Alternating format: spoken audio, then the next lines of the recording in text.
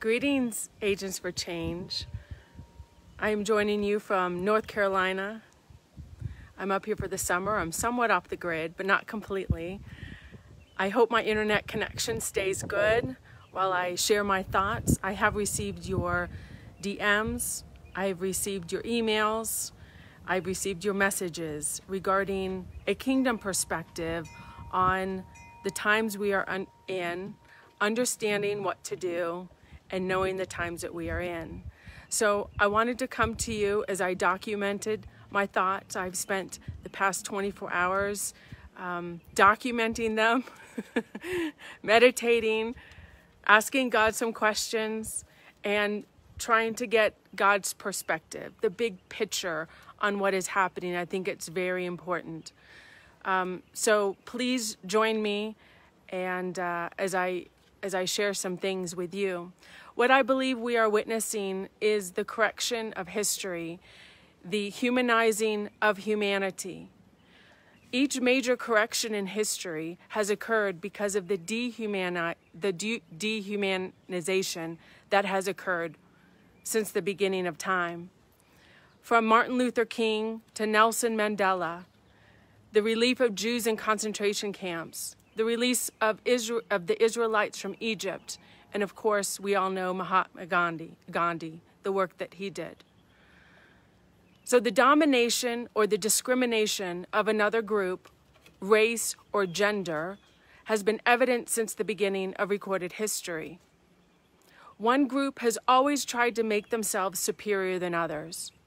It has spanned many cultures, nationalities, and even religion.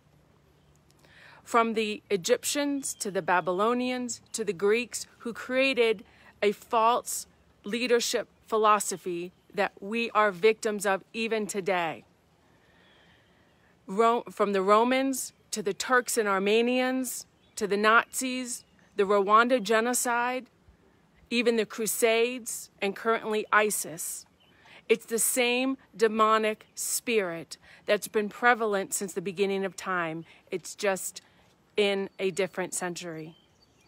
So let's examine some of the prejudices that we have seen that occurred during the time of Jesus.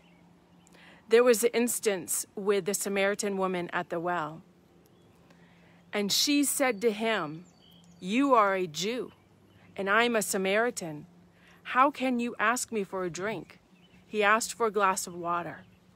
This is an everyday scenario that was documented for us.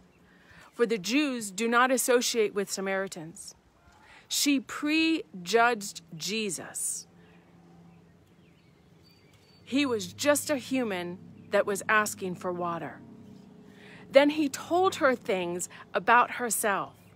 And she ran off and announced to the village and all of her friends, friends, come meet the man.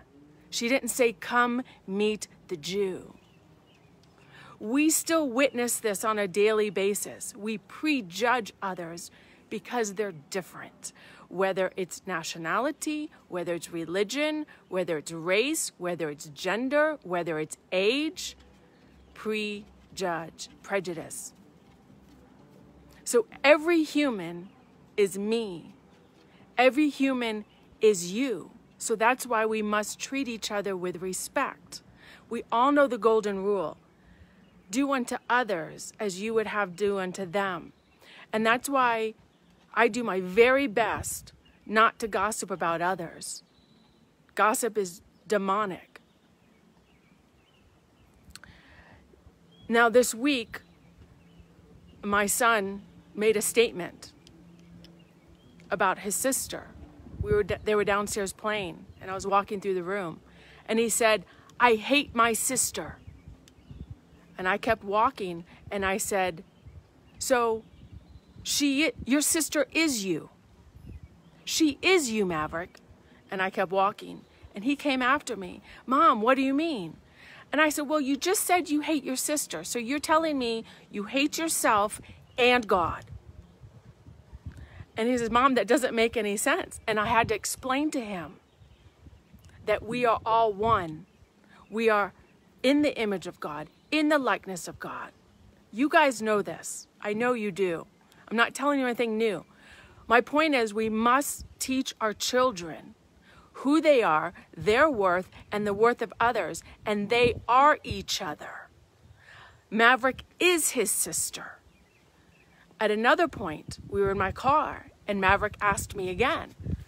And I explained to him we are a family unit, the whole entire earth. We have one creator, one Father God Almighty. And then we have small pockets of families here on the earth. He says, I understand that. And I said, Well, you are your sister.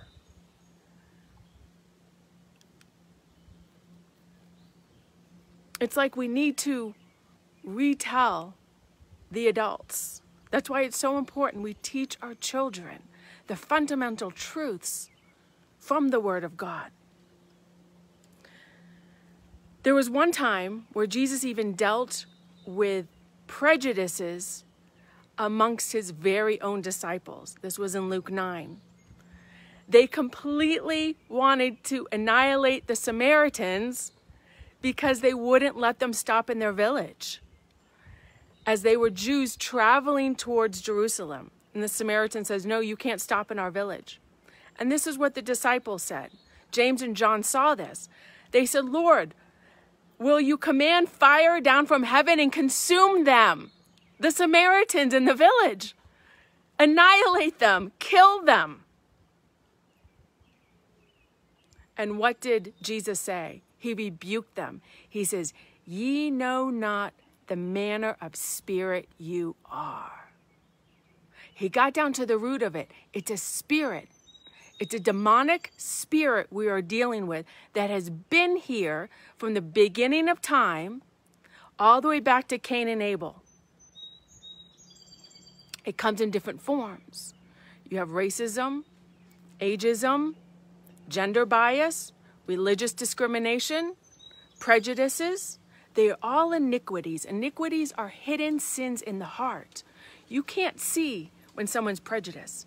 And at times, it's exposed outwardly.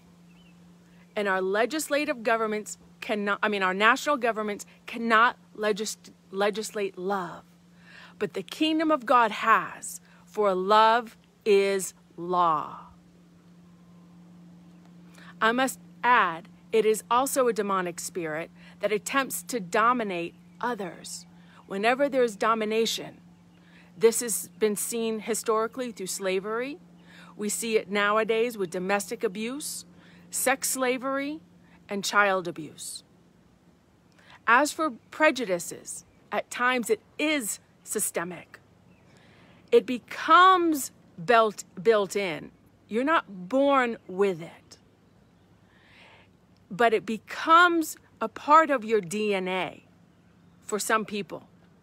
And in some cases, it may be too late because their behavior has become a psychology and they are not willing to change.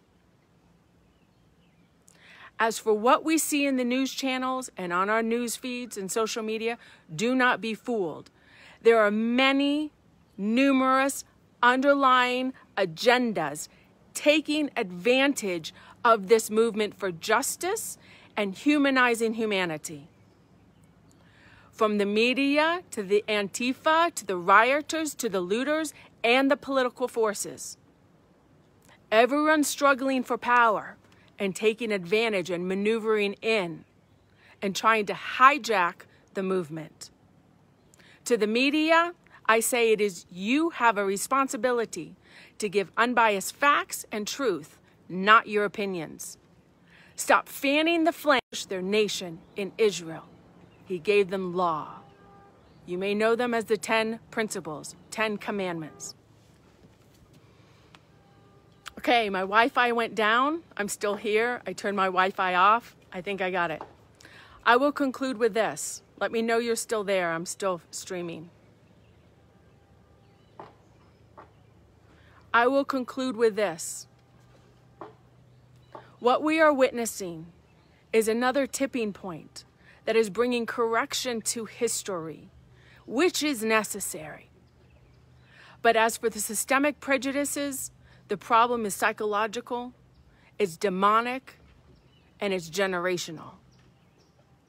Therefore, the solution is mental transformation. And it starts with oneself, and it starts with teaching your children and those that you can influence. Use your voice, and if you have a story, share your story. There is nothing more powerful than your story. We must intentionally bring transformation by exemplifying to our children and to others love for all humanity.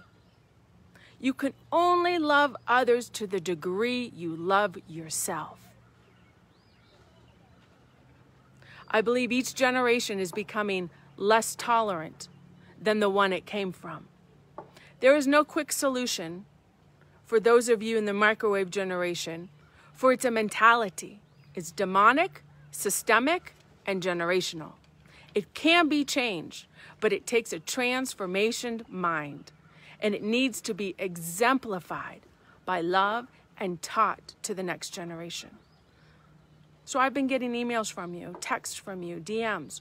What can I do? What should I be doing? Share your experience if you have a story. Nothing is as powerful as your story.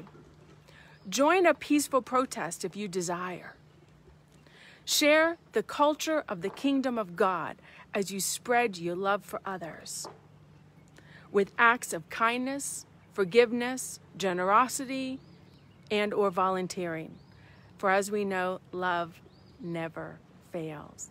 It always trumps hate. Bring light into darkness. Bring knowledge where there's ignorance, which brings mental transformation. As agents of change, we can change one system at a time, one industry at a time, one corporation at a time, one family at a time, which is where it starts, and one mindset at a time. Remember, the foundation of a nation is the family, the family unit. So we must intentionally exemplify and teach our children that we are all made in the image and the likeness of God the Father, thus equal and one human race. Here's hope to bringing true and lasting change as we correct history.